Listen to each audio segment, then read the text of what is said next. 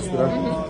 E forse noi non eravamo molto aggressivi dall'inizio, loro loro, eh, dice, avevano una ricezione dico, doppio più più eh, con De Cecco, De Cecco con palla in mano è impossibile leggere per, soprattutto per centrali e anche per noi che siamo in posto 2 e posto 4 a fare muro difesa e questo secondo me primo set eh, abbiamo perso un po' di lucidità ma devo dire che siamo stati sempre forti, non, mai non siamo entrati nel buco e siamo stati con energia, con la forza su e alla fine abbiamo trovato per quinto set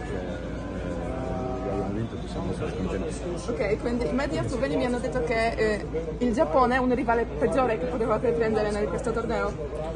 Ma abbiamo giocato con tutti e abbiamo visto che è una squadra che lotta per ogni punto, sempre da quel 100% in campo per ogni punto e sono fortissimi in muro difesa, anche se non sono altissimi. Eh, sono anche ricezione, stanno prendendo dentro diciamo, 3 metri positivo, quindi noi dobbiamo secondo me essere un po' più aggressivi come eravamo in prima partita contro di loro.